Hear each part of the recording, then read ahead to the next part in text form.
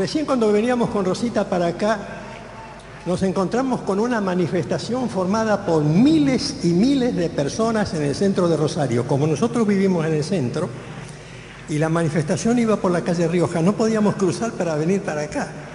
Estábamos detenidos, mirando rostros y rostros y rostros de gente reclamando justicia, reclamando soluciones, reclamando comida, reclamando derechos humanos, reclamando salarios, allí en el centro. Y pensé, ¿no les parece que nosotros tragamos mucho para nosotros mismos?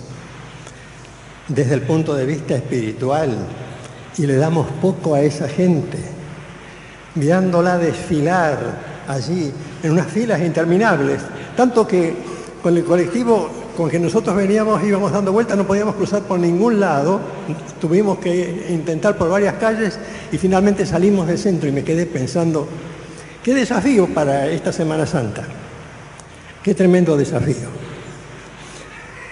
Me gusta Jesús porque Jesús pensaba así. Miraba la cara de la gente y no importaba si era cara fea o cara linda, si era pobre o si era rico, los miraba, los elegía. Les daba a todos una oportunidad. Y el pastor me pidió que hoy les hable, el pastor Gaidó me dijo que les hablara sobre Judas Iscariote. Él había escuchado un tema que yo prediqué hace mucho, creo que en la provincia de Entre Ríos ya no me acuerdo casi lo que dije. Me busqué una Biblia vieja para ver si me hacía devolver algo a la memoria, porque mi señora me regaló una Biblia mucho mejor. Le claro que no es esta, sino una Biblia eh, presentable, agradable a la vista, que es la que me regaló Rosita. Y me acordé que con esta Biblia probablemente fue con la que prediqué aquel mensaje del cual habla el pastor Gaidú. Quiero leerles un pasaje en el Salmo 55 y después vamos a hablar otra vez. Este pasaje del Salmo 55 no se refiere a Judas Iscariote, pero se aplica a Judas Iscariote y a cualquier persona que tenga este mismo problema espiritual. Algunos de nosotros esta noche podemos tener este problema.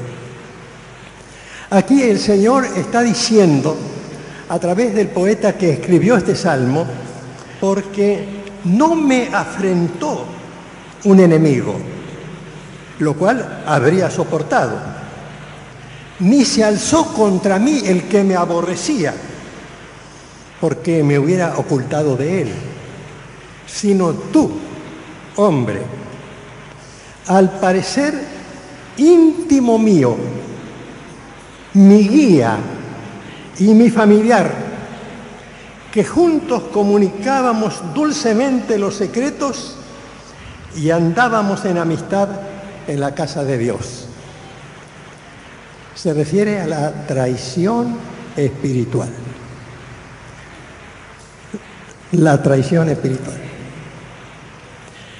Así el libro de Amós, que es un libro que pocas veces usamos para predicar los domingos en las iglesias, pero de vez en cuando sí, porque tiene algunos pasajes muy bonitos.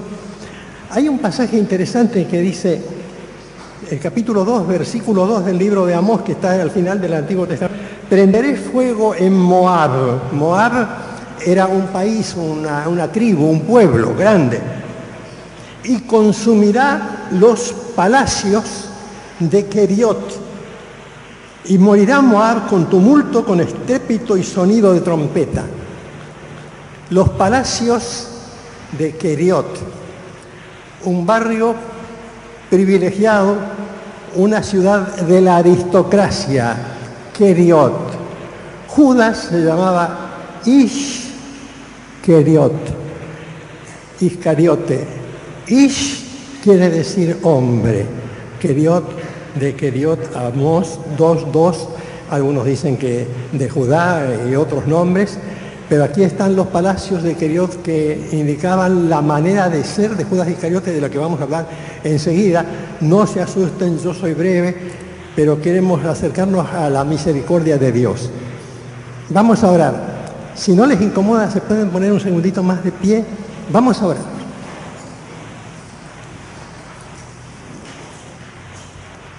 Señor, ahora ya hemos venido escuchando tu voz en esta noche.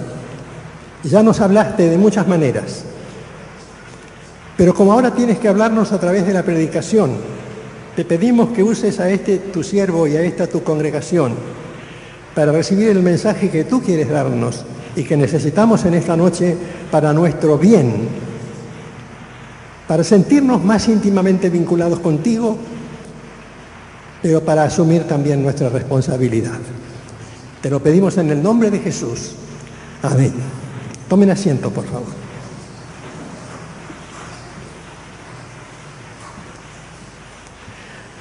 Cuando mi hija era una nena que estaba en el colegio americano, cantaba una canción que los de mi edad y los que tengan de 40 años para arriba se deben acordar, porque a lo mejor la cantaron en la escuela. Decía, ¿de qué color es la piel de Dios? ¿Se acuerda alguien de esa canción? Sí, algunos se acuerdan, maestras de escuela, especialmente veo que hacen así. ¿De qué color es la piel de Dios? Pero la pregunta quería decir al mismo tiempo de qué color es la piel de los seres humanos que están a nuestro alrededor. De qué manera tenemos que interpretar la diversidad de personas que nos rodean, que existen. Toda esa gente ignorada. El otro día fuimos, yo sentí una profunda impresión porque me dice Rosita, mi esposa, em, ¿por qué no vamos a visitar a Sarita Constanza? Sarita Constanza vive en un asilo de ancianos de ancianos que sufren algunos males mentales. Entonces ustedes tienen que imaginarse lo deprimente que es entrar allí. Está aquí en circunvalación, casi en el barrio Ruchi, un poquitito más allá del barrio Ruchi. Estaba ahí nuestra hermana Sarita Constanza.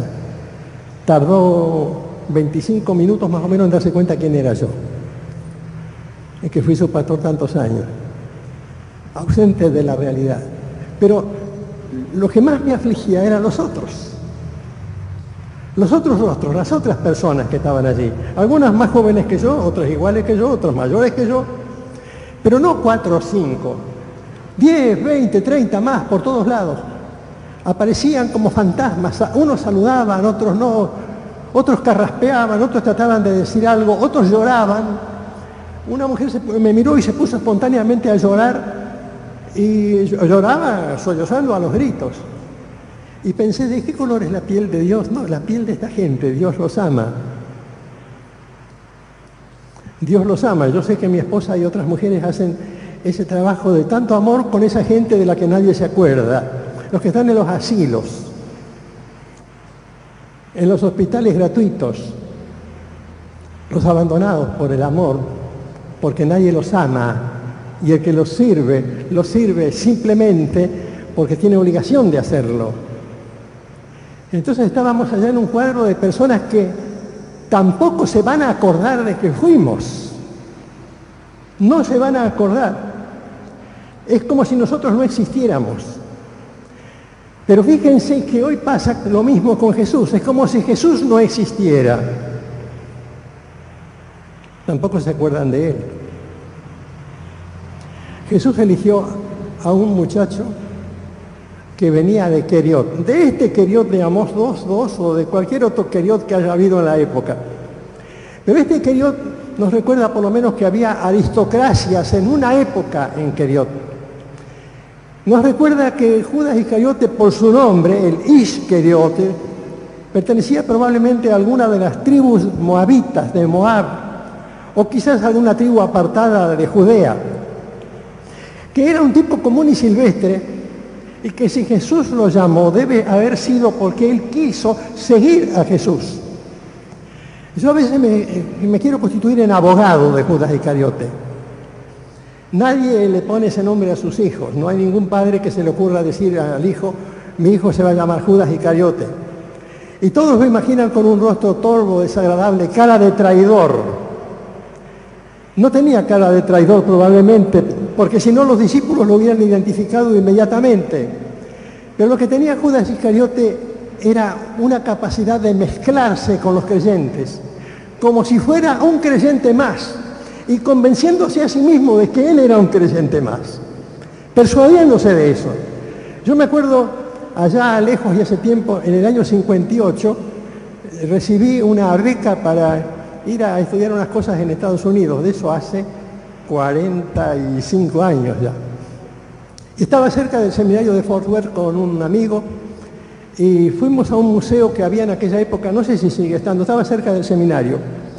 Tenía un salón como este, un escenario más grande, una mesa larga adelante y alrededor de esa mesa sentadas imágenes de cera de tamaño natural, como si fueran verdaderas personas con su cuerpo y todo, eh, los doce discípulos de Jesús y Jesús en la última cena. Y Jesús conversando con ellos, una pequeña brisa que corría de un costado del escenario y que les movía las túnicas de manera que parecía que estuvieran vivos. Entonces los dos que estábamos mirando el cuadro dijimos, ¿quién es Judas? Y empezamos a mirar. ¿Quién era Judas? ¿Quién tenía cara de Judas? Ustedes saben que estuvimos como una hora haciendo conjeturas y no llegamos a ninguna conclusión, porque Judas no tiene cara de Judas, Judas tiene cara de buen cristiano. Porque Jesús, entre miles que pudo elegir, eligió solamente a doce.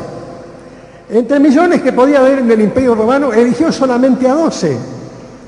Y Jesús no se equivocaba en las elecciones, era nada menos que Dios. Y tampoco estaba haciendo una comedia diciendo, bueno, lo voy a elegir porque yo sé que Él me va a traicionar, etcétera, etcétera. Él lo eligió porque cuando nos llama a cada uno de nosotros es para darnos una oportunidad. Pero no simplemente la oportunidad de tener una convicción, una fe, un ideal, sino para que le sirvamos. Él necesita gente que esté a su servicio. Y aparentemente al principio Judas se convenció de eso. Tal vez Judas conocía toda la historia, porque en aquella época la historia era, como pasa en este tiempo contemporáneo, con el Fondo Monetario Internacional, el Banco Mundial y otras instituciones que están tratando de controlar no solamente a nuestro país, sino a muchos otros países. Los Herodes, los de la familia de Herodes, habían ido a Roma para hacer un pacto y decir, nosotros vamos a gobernar el país de acuerdo a las instrucciones que nos den ustedes, siempre que ustedes nos favorezcan a nosotros financieramente. Y entonces el emperador romano, que no era tonto, nombró a los Herodes para que gobernaran, siempre que los Herodes obedecieran. Y los Herodes obedecieran mejor que un gobierno argentino. Obedecían al imperio romano lealmente, ciegamente, no les importaba en absoluto la nacionalidad. Y muchachos como Judas Iscariote o como Barrabás o como otros se rebelaban contra eso, salían con los carteles, salían con las pancartas, salían protestando contra la opresión. Poncio Pilato tuvo que matar a 18 para parar una manifestación, dice la Biblia, que se había levantado en contra del gobierno en aquella época por las mismas razones que ahora.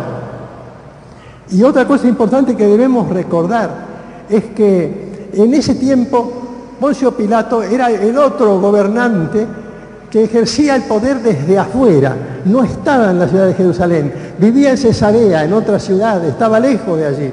Y los muchachos que eran patriotas a su manera y que querían solucionar las cosas a su manera, iban como iban recién la gente reclamando justicia de verdad, pero no sabían a dónde reclamarla. Yo creo que se le iban a pedir a Wiener porque iban caminando para allá, porque nadie pensó de ellos probablemente, hay una manera de reclamar justicia, hay una manera de traer el hombre nuevo, los cielos nuevos y la tierra nueva, que es seguir a Jesús.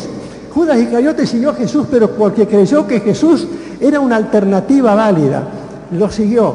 Y según el Evangelio, lo seguía bastante bien. Fíjense, lo nombraron tesorero, tenía un cargo administrativo digno de confianza. Cuando Jesús decía, uno de ustedes me va a traicionar, ellos jamás decían, seguro que Judas. Decían, ¿soy yo, Señor? Porque Judas era igual que todos ellos. Como algunas veces he dicho en este mismo púlpito, Judas estaba en la iglesia, en la asamblea de los discípulos, constituida por los doce discípulos, Jesús mismo, y también algunos simpatizantes como Nicodemo, José de Arimatea y algunas mujeres como María Magdalena, Juana y otros así, esa pequeña congregación estaba ahí Jesús. Jesús era el pastor. Judas era el único que tenía cargo, el tesorero. Estaba 24 horas por día al lado de Jesús, porque era como un campamento permanente. Estaba siete días por semana al lado de Jesús. Estaba cuatro semanas por mes al lado de Jesús. Estaba 365 días por año al lado de Jesús. Cuando Jesús los mandaba de dos en dos a predicar, él también iba. Cuando Jesús los mandaba sanar enfermos, él también iba. Cuando Jesús les decía que vayan a las ciudades y si los rechazan, sacudan el polvo de sus pies y vayan a otra ciudad y anuncien el mensaje del reino, ellos iban. Judas también. Judas hacía todo lo necesario cuando había que estar alguna vigilia de oración, no la última vigilia de Getsemaní, no el tiempo de exaltación de la transfiguración, sino la vida normal del grupo normal. Estaba con Jesús, allí estaba Judas, siempre estaba Judas, siempre tratando de defender a los pobres. Ustedes me dirán, bueno, la Biblia dice que era el ladrón. Sí, de acuerdo, pero el Nuevo Testamento cuenta eso 30 años después, cuando se escribió el Evangelio, o empezaron a escribirse los Evangelios Marcos, Mateo, Lucas y Juan, como 30 años después, ya todo el mundo sabía que Judas era traidor y era ladrón. Pero en el momento, no, en el momento él parecía el hombre perfecto, el cristiano dispuesto a obedecer ciegamente a Jesús. Yo me pregunto muchas veces, a la luz de la Biblia, cómo se tiene que ver mi experiencia espiritual. Porque así en el Evangelio de Mateo capítulo 27, dice que eh, Judas cuando se encontró con el drama, Después que lo traicionó, como ustedes saben, lo traicionó a Jesús por 30 monedas, como dice algún tango por ahí, o 30 piezas de plata.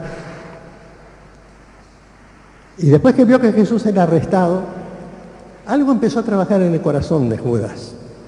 Porque Judas llegó al encuentro con Jesús y le dijo, salve maestro. Y lo besó. Y Jesús le dijo, mi amigo. Acuérdense esa expresión, amigo. Si Jesús dijo amigo, Jesús nunca mintió. Jesús había elegido a Judas para darle una oportunidad. Amigo, me traicionás con un beso, ¿no? Salve, maestro. Mira qué bien. Vengo a entregarte en manos de, los enemigos, total vos fuerte, poderoso, como hemos cantado recién, majestuoso, omnipotente, vos te liberás. Te llevan ahora presos los soldados, los alguaciles, pero van allá al tribunal, este, sea Anás, Caifás, Herodes, Poncio Pilato, sea quien fuere, vos salís libre, sos todopoderoso, sos Dios. Te he visto resucitar a Lázaro, el que estaba yo presente. Te he visto resucitar al hijo de la viuda de Naín y yo estaba presente. Te he visto resucitar a la hija de Jairo y yo estaba presente. Te he visto alimentar a 5.000 personas sin contar las mujeres y los niños y hacer un milagro de unos pocos panes y peces de alimento para toda la gente y lo hiciste dos veces. Y yo estaba presente y hasta ayudé a repartir el pan y los peces. Te he visto triunfar en todas las circunstancias, parar las tormentas, detener los huracanes, acabar con los truenos, echar demonios. Te veo hacer todo, Señor, no hay nada imposible para ti. Entonces, ¿qué peligro hay? Que te lleven los muchachos, los soldados, los alguaciles, que te lleven preso.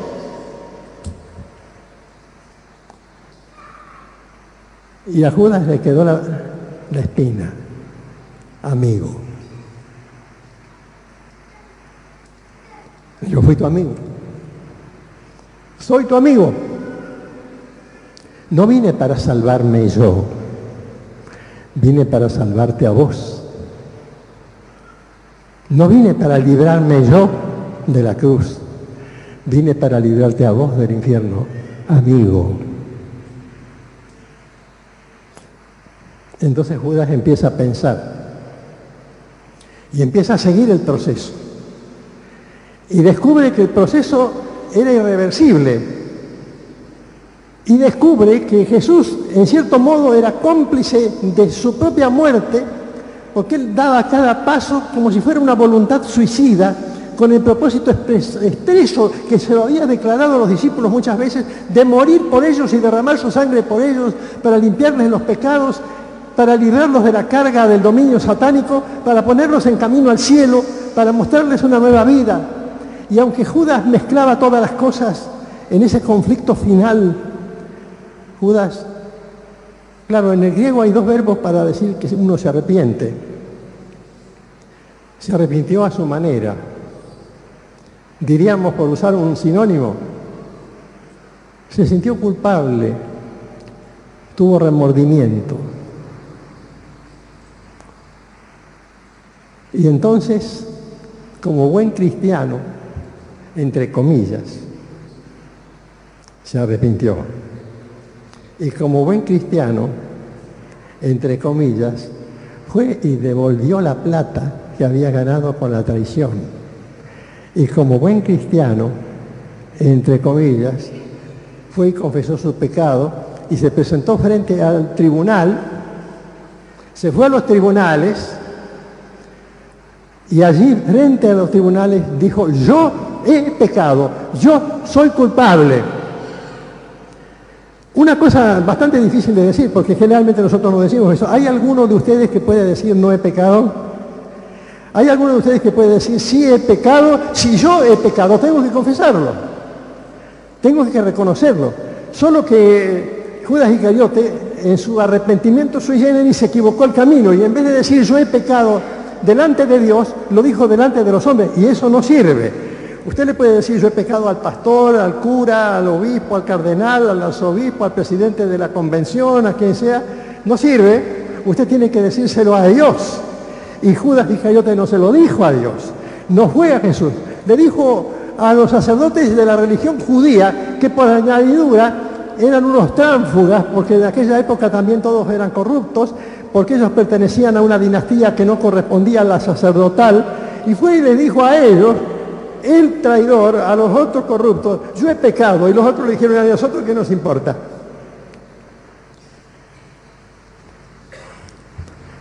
Mira, mi hermano, vos podés estar en la iglesia, venir a las reuniones, estar en el culto de oración, bautizarte, cantar himnos, cantar colito, etcétera Pero si no empezás diciendo yo he pecado y sabiendo que el que murió por vos es inocente, porque al final el único de los discípulos que dijo que Jesús era inocente fue Judas. Los demás escaparon todos. Pedro lo negó, etc. Pero lo que pasó fue que Judas, cuando dijo he pecado entregando sangre inocente, dijo una gran verdad, pero no a donde correspondía que la dijera.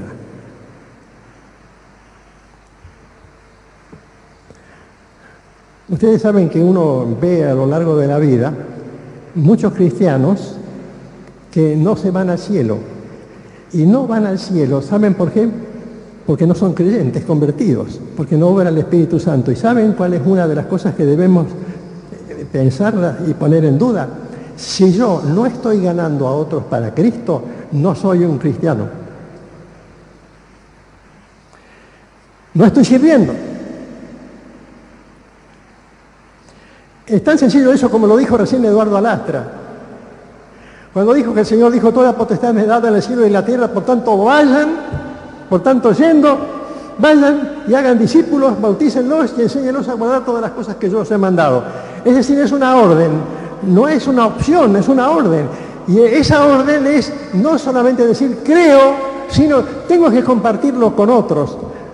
Yo me desesperaba viendo recién la manifestación, no porque no tenga derecho a manifestación, no porque no reclame lo que realmente necesita reclamar, sino porque aquella manifestación demuestra que hay miles, como decíamos al principio, de personas que no han recibido todavía a Jesús en su propio corazón.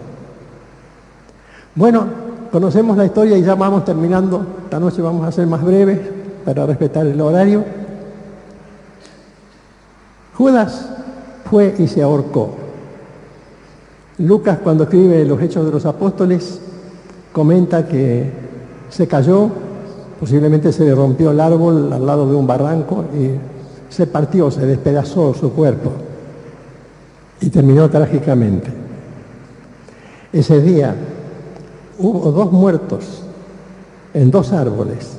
En un árbol estaba Jesús, la cruz, madero, puesto sobre el Calvario, sobre el Gólgota, muriendo por nosotros. Y en algún otro lado por allí, eh, en un campo comprado específicamente para eso, estaba otro árbol de donde se colgó Judas y donde él murió trágicamente. Pero ¿por qué está este relato en la Biblia? Este relato en la Biblia está para hacernos comprender qué es verdaderamente ser salvo. Si uno es salvo, uno le está diciendo a los demás. Yo le decía a los chicos de la clase de jóvenes, donde yo soy suplente, pero esta mañana el titular no vino, les decía, ¿saben lo que hay que hacer? Díganle a la gente lo que Cristo hizo en su propia vida, cuéntenselo a la gente, díganle a la gente, tengo paz, tengo gozo, el Señor me dio tal cosa, y si no siento que debo hacerlo, y si no lo siento en mi corazón, y si no lo estoy viviendo, hay que tener cuidado. Inclusive si lo digo automáticamente, porque probablemente Judas predicó, anunció, hizo todo, porque Jesús los mandó de dos en dos a predicar. Pero toda esa expresión no le sirvió para nada porque fue una comedia de cristianismo. Y en este mundo vivimos en este tiempo ahora una gran comedia de cristianismo. El otro día llegaba por la computadora un mail enviado por nuestra organización nacional que se llama Asiera, diciendo, desconocemos ciertas convocatorias truchas hechas por cristianos que no son auténticos ni son conocidos, advirtiéndonos sobre esa cantidad de movimientos de personas que en realidad no pertenecen a Cristo. Entonces yo me tengo que preguntar, no juzgar a los otros porque no soy quién, tengo que preguntarme por mí mismo, ¿pertenezco de veras al Señor? ¿Cuántos frutos he llevado?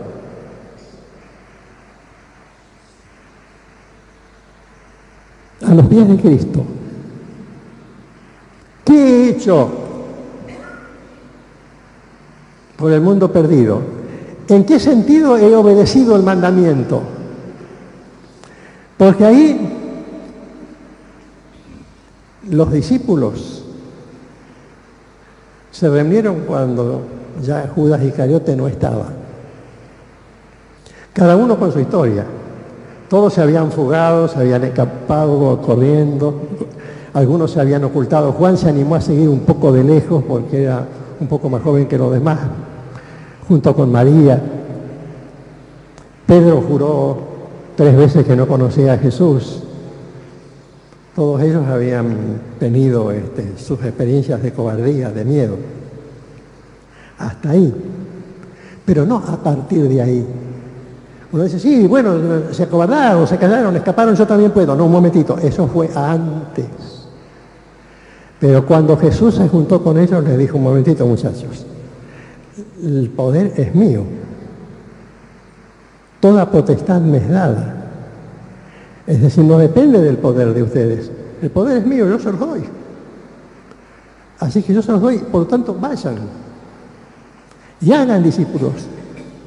Ahí yo no puedo decir, bueno, pero le pasó a Pedro. Bueno, eso fue antes, muchachos. Eso fue antes, chicas. Ahora, Jesús está por irse está allí sobre el monte del cual va a ascender y dice, me es dada la potestad, el poder y también, por supuesto, la autoridad. Por tanto, ahora pueden ir, ahora deben ir, ahora tienen el poder para ir. Ahora el Espíritu Santo viene sobre ustedes. Si ustedes no van, hay una de dos. O están en rebeldía o realmente no nacieron de nuevo.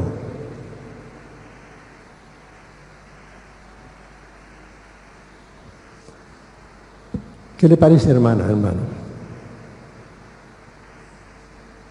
No haber nacido de nuevo. Yo conocí a un pastor en los Estados Unidos que tenía una congregación de miles de personas, que tenía un programa por radio todas las semanas estupendo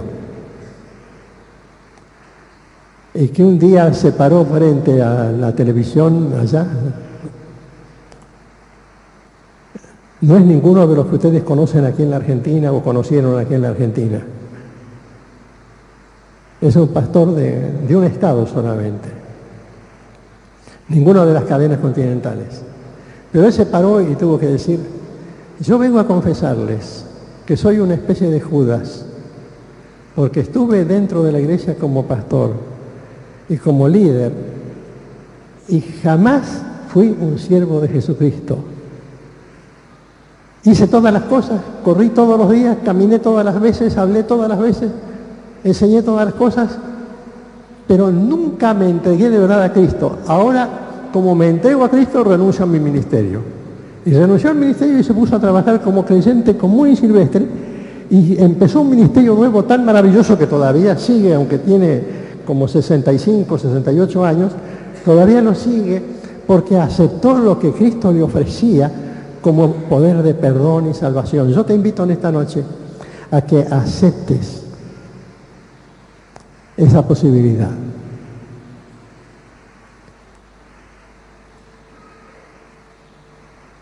¿Hay alguien que no ha ido a ver? ¿Hay algún rostro desconocido o conocido?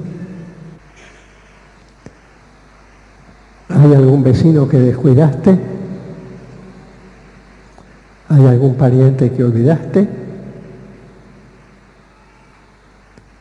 ¿Hay alguna cosa que no hiciste?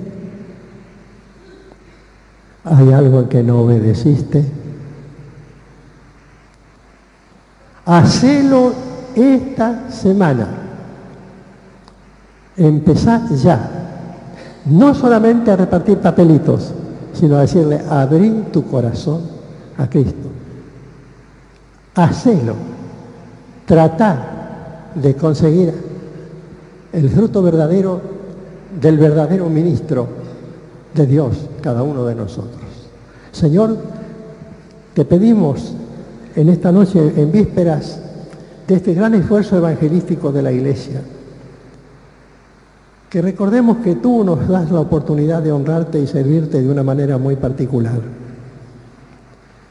Señor, quisiéramos pedirte que no caigamos en el pecado de Judas, no solo en el aspecto de la traición final, sino en el aspecto de su vida de falso servicio su vida de perseverancia al, lado de Jesús, sin haberse entregado a ti, Señor, mientras tu Hijo estaba en la tierra.